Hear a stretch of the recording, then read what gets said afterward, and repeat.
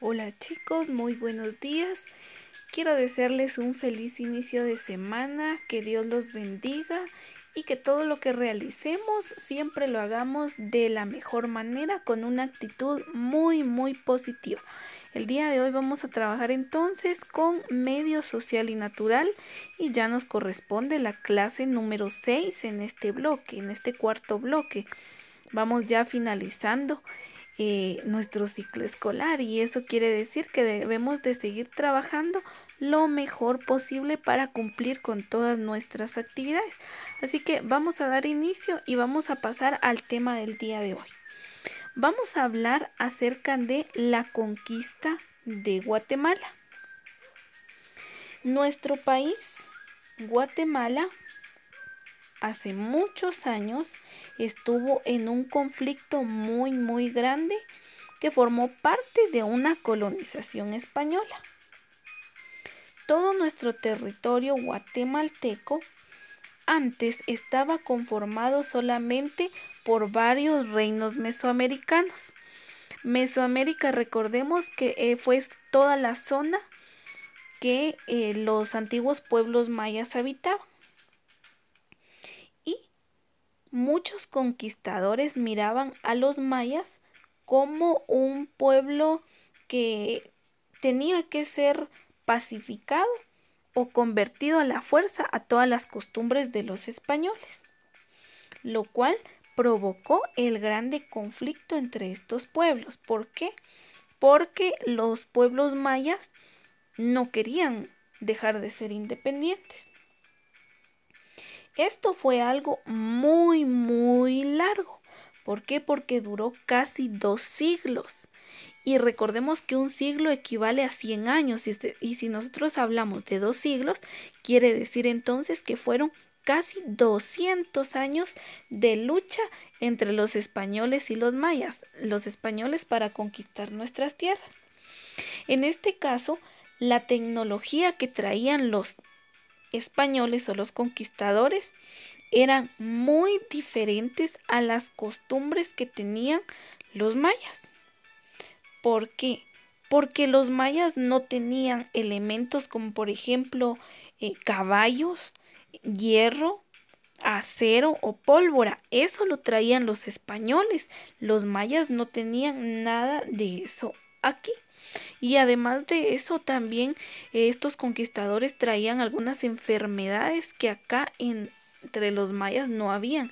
Entonces ellos eran más susceptibles o eran más vulnerables a que tener estas enfermedades porque no tenían defensas, ¿verdad? Muy bien. Pues entonces vamos a seguir viendo la historia. Hay un personaje que es el conquistador de nuestra Guatemala, que es don Pedro de Alvarado. Él fue el conquistador y él vino acompañado de algunos aliados que su gentilicio es Tlaxcaltecas. Eran personas, un grupo de personas indígenas mexicanas que se aliaron a don Pedro de Alvarado y los demás españoles que venían.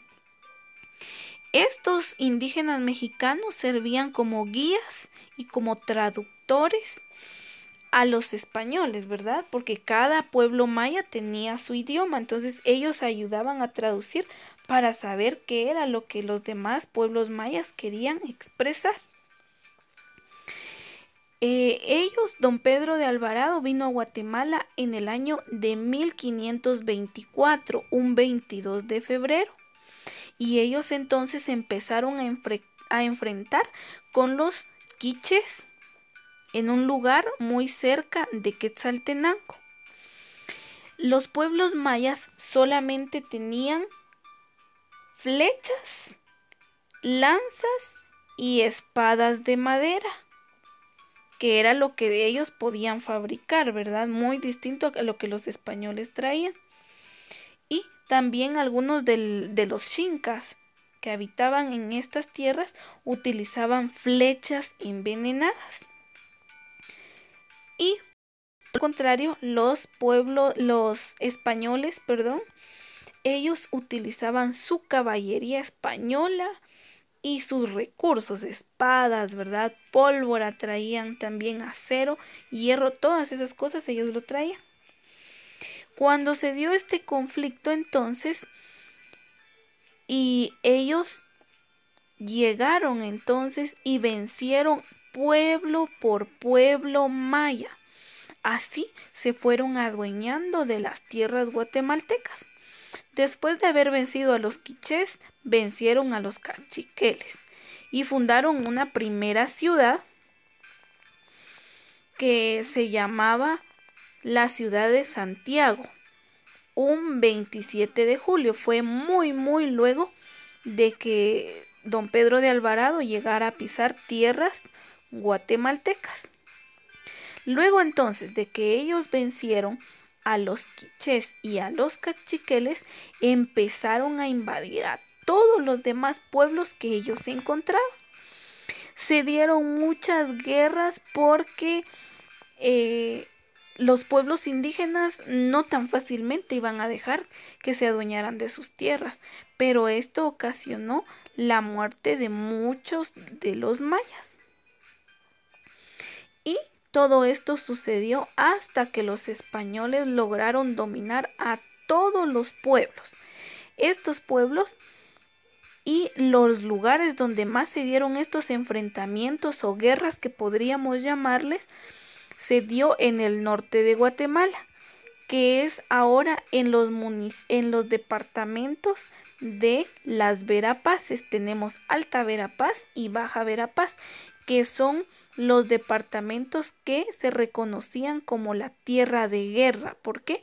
Porque allí eran donde se daban los enfrentamientos y donde la mayoría de veces los españoles lograban invadir y vencer a cada uno de estos pueblos mayas.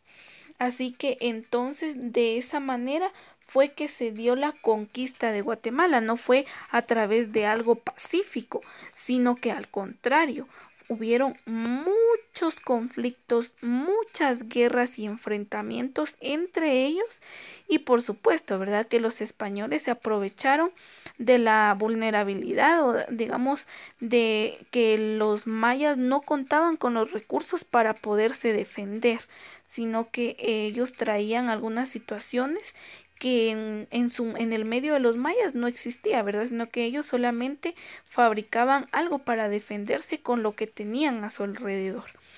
Entonces, de esta manera fue que se dio la conquista de nuestro país. Y es muy bueno, ¿verdad? Que nosotros conozcamos toda esta historia.